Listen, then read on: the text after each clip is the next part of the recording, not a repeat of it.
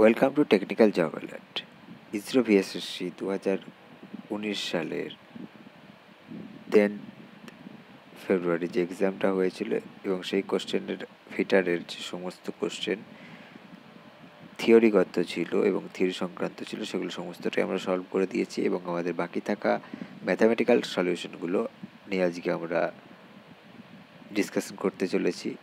সম্পূর্ণভাবে বাংলাতে আর হ্যাঁ আমাদের ভিডিওটা আনতে একটু দেরি হয়েছিল সাময়িক সমস্যার কারণে। তো যাই হোক ভিডিওটি শুরু করা যাক। আর ভিডিওর শুরুতেই আপনাদের প্রথমেই জানাই যে হ্যাঁ যদি টেকনিক্যালি বা অঙ্ক করার, কষার দিক থেকে আপনাদের কোনো সুবিধা, অসুবিধা, সমস্যা বা ভুল আপনারা দেখতে পান, সেটা অবশ্যই কমেন্ট বক্সে জানাবেন, যাতে করে আমরা আমাদের নিজেদের ভুল শুধরে নিতে পারি। এবং যদি কোনোভাবে আপনাদের মনে হয় যে আমরা কোনোভাবে ভুল বার্তা বা ভুল কোনো কিছু বলছি, সেটা অবশ্যই আমাদের জানিয়ে দেবেন আমাদের যাতে করে ভবিষ্যতে আমরা সেই জায়গাটা থেকে নিজেদেরকে ইমপ্রুভ করতে পারি এবং আপনাদের কাছে ভিডিওটা সঠিকভাবে, পরবর্তী ভিডিওটা সঠিকভাবে সেটা জানাতে পারি। যাই হোক, আমাদের প্রথম কোশ্চেনটি ছিল, যেটা উনিশ নম্বরের কোশ্চেন ছিল the included angle between the sides of a octagon is option A one thirty five option B forty five option C ninety option D none of above এখন এক্ষেত্রে যে কোনো একটা পলিগন অর্থাৎ যে কোনো একটা বহুভুজের আমরা যদি ইনক্লুডেড অ্যাঙ্গেল দুটো সাইডের মধ্যবর্তী ইনক্লুডেড অ্যাঙ্গেল নির্ণয় করতে চাই, সেক্ষেত্রে যে ফর্মুলাটা আমরা ইউজ করি সেটা হচ্ছে one eighty into N minus two by N degree এখানে এন হচ্ছে অন্য কিছুই না এন হচ্ছে বাহু সংখ্যা। যেহেতু একটা অক্টাগন তাই এর বাহু সংখ্যা আট। তো অক্টাগনের ক্ষেত্রে আমরা যেটা দেখতে পাচ্ছি one eighty into eight minus two অর্থাৎ আমরা শুধুমাত্র সূত্রতে বসিয়ে নিয়েছি এবং সেই সমস্তটা আমরা কাটাকুটি করার পরে দেখতে পাচ্ছি যে আমাদের উত্তরটা এসে দাঁড়াচ্ছে, সেটা একশো পঁয়ত্রিশ ডিগ্রি। অর্থাৎ একটি একটাগনের তিন কুড়েড অ্যাঙ্গেল দুটি বাহুর মধ্যবর্তী।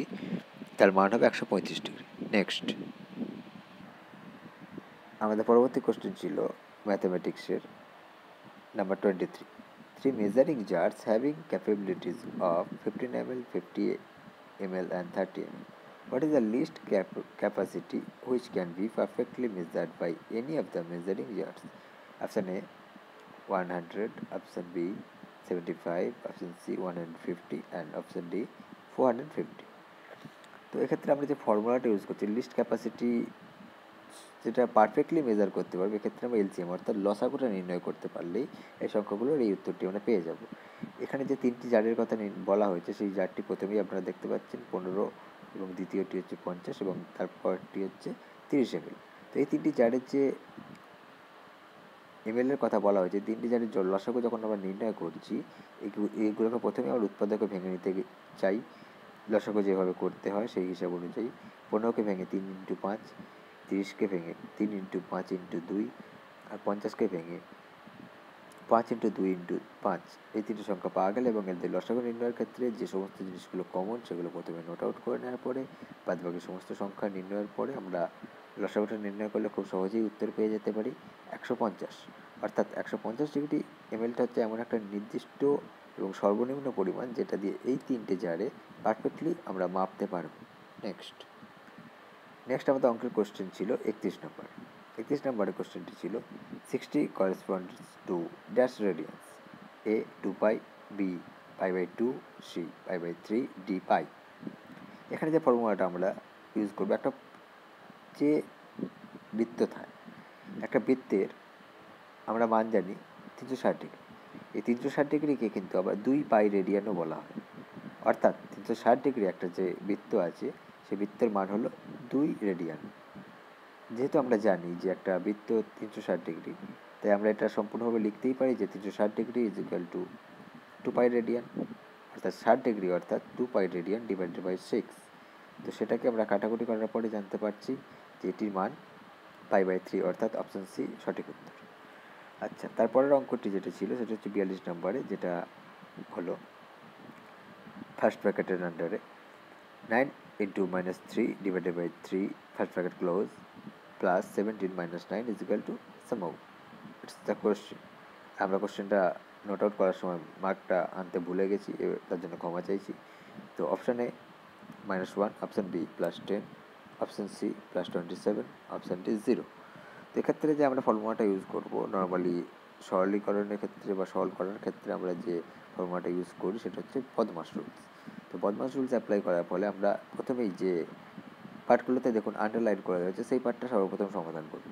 এক্ষেত্রে nine into minus three divided by three plus seventeen minus nine এর থ্রি আর মাইনাস থ্রি ডিভাইডেড বাই থ্রিটা ফার্স্ট আমরা সলভ করলাম এবং তার অ্যান্সার হলো মাইনাস ওয়ান যেটা পরবর্তী লাইনে নিচে নামানো হয়েছে এবং তার পরবর্তী নিচের লাইনে বাদবাকি সংখ্যাগুলোকে নিচে নামানো হয়েছে। তার পরবর্তী লাইনে শুধুমাত্র গুণ করে সংখ্যাটি বসিয়ে দেওয়া হয়েছে এবং তার পরবর্তী লাইনে ওইটুকু সংখ্যাটা সমাধান করা হয়েছে। সম্পূর্ণ বদমাস রুলস মেনটেন করে এবং তার পরবর্তী লাইনে ওই যোগ এবং পরবর্তীকালে এই দুটি সংখ্যা যখন থাকছে, তাদের মধ্যে সাবস্ট্রাকশন অর্থাৎ বিয়োগ করার পরে আমরা উত্তরটা পেয়ে যাচ্ছি মাইনাস ওয়ান অর্থাৎ option A is the right answer next পরবর্তী কোশ্চেন যেটি ছিল ম্যাথামেটিক্সের সেটা হল নাম্বার পঞ্চাশ। Ten percent of fifteen percent of six hundred is option A nine option B one five zero option C ninety option D sixty যে কোনো সংখ্যার যখন পার্সেন্টেজ নির্ণয় করা হয়, সেক্ষেত্রে প্রতি একশো পার্সেন্টে একশো ভাগের মধ্যে ওই সংখ্যা বা ওই পার্টিকুলার অংশ ঠিক কতটা, সেটা জেনে নেওয়াটাই হচ্ছে অ্যাকচুয়ালি পার্সেন্টেজ একশো ভাগের মধ্যে কত ভাগ আমরা যদি পরীক্ষার কোশ্চেনের ক্ষেত্রে বা আমরা যখন পরীক্ষার অ্যান্সার দিই, আমরা একশো ভাগের মধ্যে কত ভাগ নাম্বার পেয়েছি সেটাকেই আমরা পার্সেন্টেজ হিসেবে জানি। তো ten percent of fifteen percent of ছশোকে আমরা সহ সহজ সরলভাবে আপনাদের বোঝার সুবিধার্থে এবং যারা হয়তো নিয়মটি জানেন না তাদের সুবিধার্থে ভেঙে চুরে এবং তাড়াতাড়িতে অঙ্কটি না করে খুবই সাধারণভাবে অঙ্কটি করার চেষ্টা করা হয়েছে। আমরা সরাসরিভাবে ten percent of fifteen percent of ছশো বা আই মিন সিক্স হান্ড্রেড এটিকে মেনশন করে দেওয়া হয়েছে।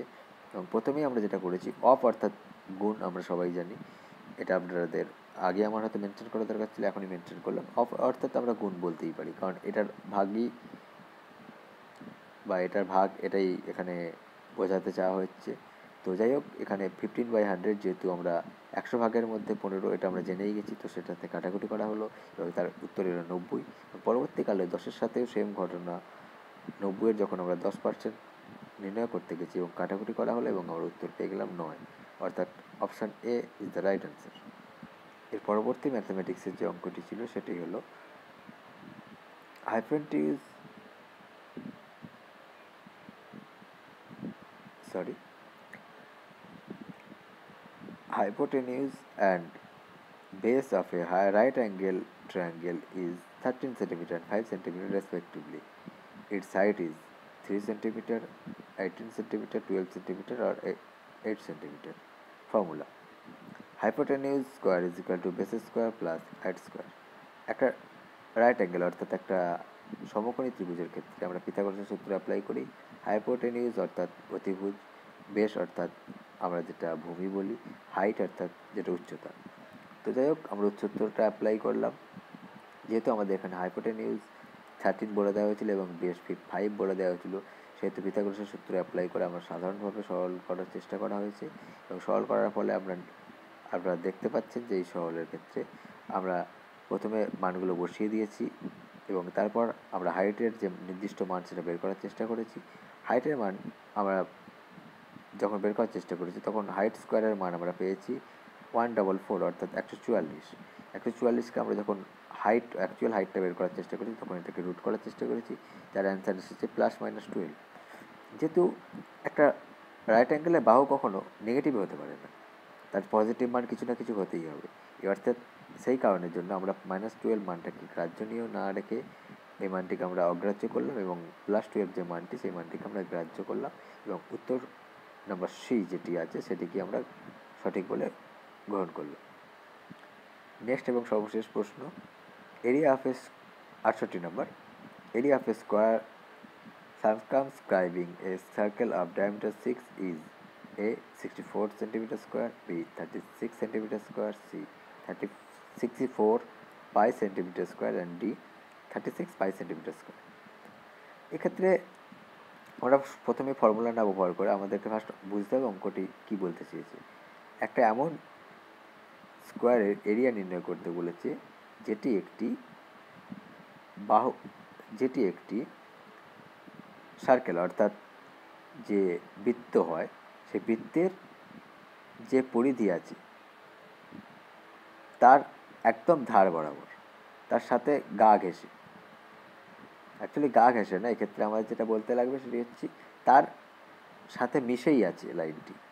এবং সেই লাইনটি, মিশে থাকা লাইনটি যে স্কোয়ারটা তৈরি করছে, একটি সার্কেলের যে ডায়ামিটার আছে, ছয় সেন্টিমিটার তার একদম ওই শেষ প্রান্তের সাথে মিশে থাকা বা ওই প্রান্তের শেষ বিন্দুর সাথে যে লাইনটি চলে যাচ্ছে, সেই লাইনটি যে স্কোয়ার অর্থাৎ যে বর্গভুজ, বর্গক্ষেত্রটি তৈরি করছে, সেই বর্গক্ষেত্রটির এরিয়া অর্থাৎ তার ক্ষেত্রফল কত? তো এক্ষেত্রে আমরা একটা আপনাদের বোঝার সুবিধার্থে একটি ছবি আঁকার চেষ্টা করা হয়েছে। এবং ছবিতে আপনারা দেখতে পাচ্ছেন যে একটা প্রথমে একটা সার্কেল রয়েছে। যে সার্কেলের ব্যাস অর্থাৎ মাঝামাঝি বা যে কোনো জায়গা দিয়ে আপনারা দেখাতে পারেন সেটি। তো এই মাথা থেকে ও মাথা, অর্থাৎ এই প্রান্ত থেকে অপর প্রান্ত অবধি যে ডিস্টেন্স সেটি হচ্ছে সর্ববৃহৎ যে জ্যা হয়, সেটাকে আমরা ব্যাস বলি। তো সেই যে ডিস্টেন্সটি সেটা হচ্ছে সিক্স সেন্টিমিটার তো একটা বৃত্তের যদি সর্ববৃহৎ যে, অর্থাৎ যে সব থেকে বড় অংশটি, সেটা যদি ছয় হয়, তার, তাকে ঘিরেই একটি বর্গক্ষেত্র রয়েছে, এটাই বলা হয়েছে কোশ্চেনে তো সেক্ষেত্রে যদি বর্গক্ষেত্রের সরি সেক্ষেত্রে যদি একটি বৃত্তের জ্যা সব থেকে বড় জ্যা অর্থাৎ ব্যাস যদি ছয় সেন্টিমিটার হয় এবং উপরে এবং নিচে সেই দুটো যদি সমানভাবে নেমে আসবে, কারণ এটি বর্গক্ষেত্র এবং সেটি ক্ষেত্রে আমরা যদি মধ্যবর্তী ডিস্টেন্স একটি বর্গক্ষেত্রের সরাসরি মধ্যবর্তী ডিস্টেন্স যদি ছয় সেন্টিমিটার উপরে উপরেও ছয় সেন্টিমিটার এবং নিচেও ছয় সেন্টিমিটার হবে এবং সাইডেও ওগুলো ছয় সেন্টিমিটার হবে, কারণ একটি বর্গক্ষেত্রে চারটে দিকই সমান। অর্থাৎ একটি বর্গক্ষেত্রে একটি পার্টিকুলার বাহু হলো সিক্স সেন্টিমিটার।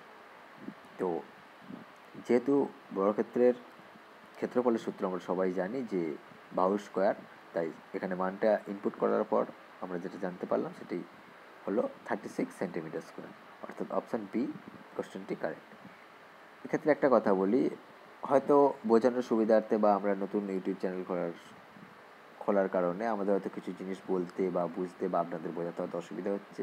সেগুলো যদি আপনারা ক্ষমার চোখে দেখেন বা যদি সেটুকু ছোট ভাই ভেবে এটুকু ক্ষমা করে দেন বা কী করলে ঠিক আমরা অ্যাকচুয়ালি ইমপ্রুভ করতে পারব সেই ব্যাপারে আপনারা যদি মতামত দেন, তাহলে খুব ভালো লাগবে। ভিডিওটি লাইক এবং কমেন্ট করার জন্য আমি রিকোয়েস্ট করছি না, আর এটা সম্পূর্ণ আপনাদের ব্যক্তিগত মতামত। আপনাদের ভালো লাগলে লাইক করুন, না ইচ্ছা হলে কোনো লাইক করবেন না। তবে হ্যাঁ অবশ্যই আমার ভিডিওটি কতটা খারাপ লাগল এবং কোন জায়গাগুলোতে আমাদের ইম্প্রুভমেন্টের দরকার, সেই ব্যাপারে একটা কমেন্ট করে দিয়ে যাবেন, যদি আপনি পুরো ভিডিওটি এখনও অবধি দেখে থাকেন। Thank you